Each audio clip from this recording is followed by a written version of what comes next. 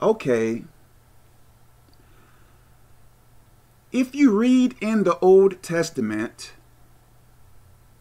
I believe the nation of Israel would get into so much trouble for what?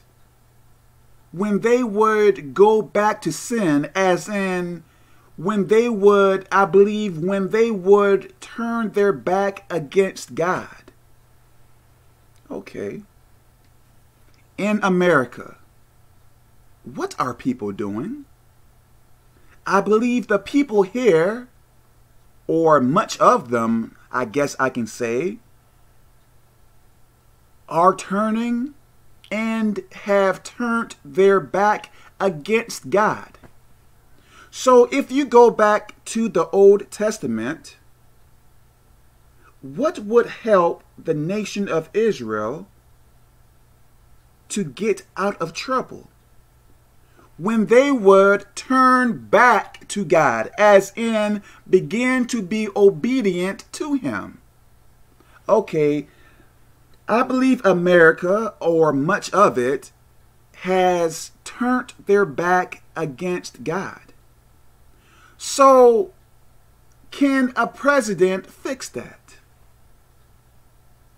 Can a new government official or whatever fix that?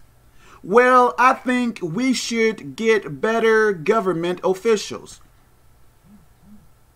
If we have turned our back against God, how can a government official fix that? I mean, as in make new laws or something to fix whatever problem we have here in America. Please listen.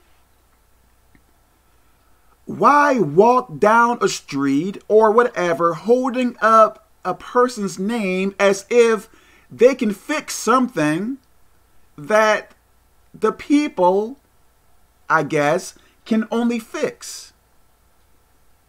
If America is going through problems because of sin, what can a president or judge or whatever do? I think it makes more sense to march down the street or to walk down the street or do something telling people to come to Jesus Christ to be obedient to him, right? No president can fix this stuff. No government official can fix this stuff. I believe people should turn to Jesus Christ. I think if that happens, things will be better in America or anywhere else if people have turned to sin. So let me stop here. God bless you.